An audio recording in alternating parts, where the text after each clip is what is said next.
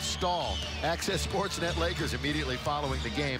Can't wait to hear Chris, James, Byron, what they have to say right after this one. Stay with us.